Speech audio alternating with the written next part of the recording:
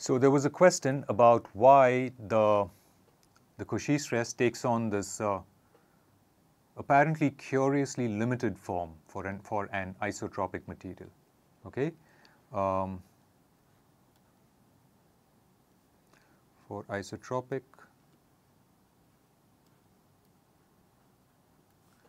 hyperelastic materials.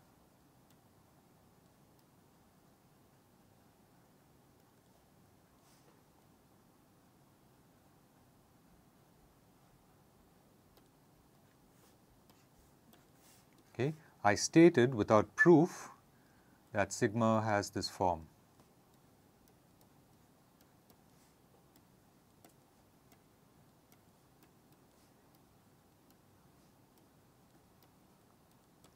okay, where the alpha i's are functions of the principal invariants.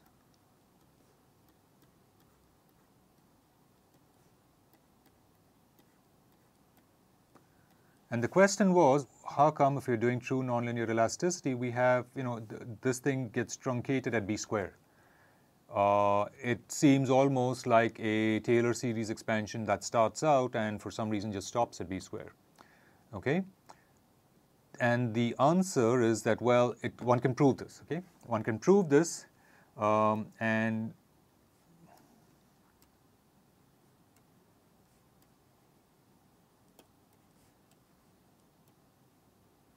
okay? Or properly stated, one can prove, I guess, the correctness of this form or the completeness of this form.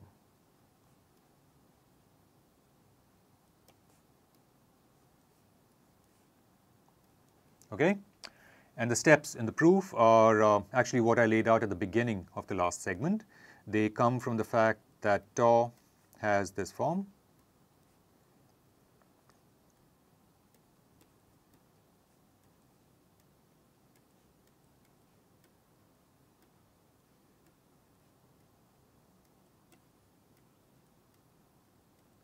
Okay, um, and the fact that psi is a hyperelastic strain energy function, that's also for an isotropic material.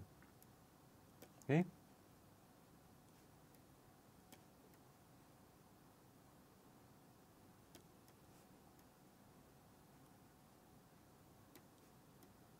Okay. Of course, if it is for hyperelastic material, we already know that we can write it out in this uh, form where now psi depends upon b through a particular function psi hat of B, right? And we've demonstrated that. The other thing you need to recall is that it must also be frame invariant.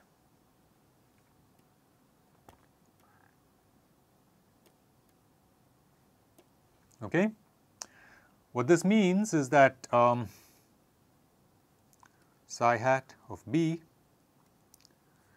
can be represented, must be representable actually, as um, now I forget how many, what kind of decoration we used on this, but I'm going to use psi double tilde here.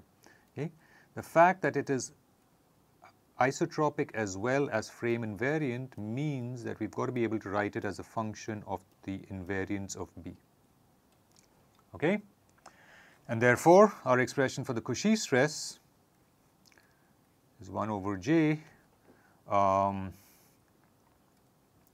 twice derivative with respect to B of now a psi double hat which depends upon B through its invariants only, through its principal invariants.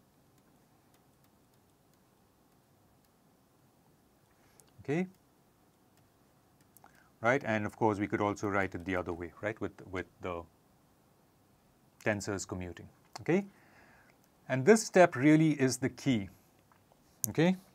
Because what this lets us do is to say therefore that sigma is um, 2 over j. Now those derivatives of psi double tilde with respect to b can be expanded using the chain rule as this.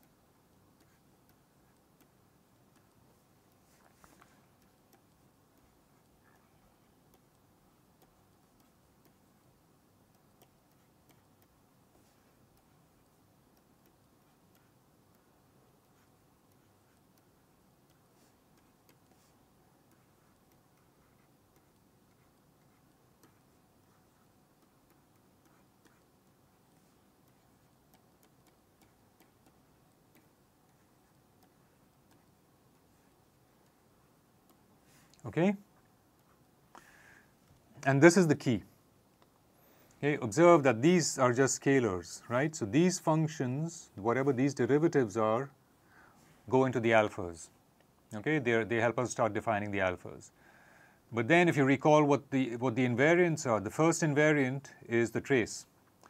The derivative of the trace with respect to uh, the corresponding tensor is just the isotropic tensor. Okay?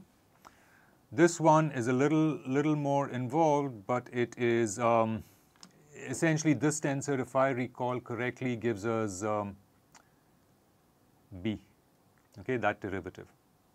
Okay?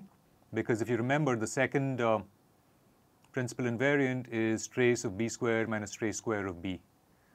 Okay? So it's quadratic in b, and so a derivative with respect to b gives us something of the order of b.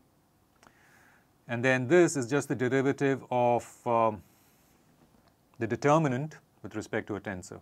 Okay? And this is an object we've computed several times during this series of lectures, and it in, um, eventually takes on the form B inverse transpose, which is, which is of order B inverse. Okay? And so now you see it, when B multiplies this, you get the isotropic tensor. With this one, you get B squared. With this, you get back B. Okay? So that's, that's the key. All right? So the details can be worked out. Uh, but, but the nice thing is that this is a theorem, right? Because it can be proved for isotropic materials. Surprising, right? But that's the another one of the surprises that nonlinear elasticity packs. Okay? All right.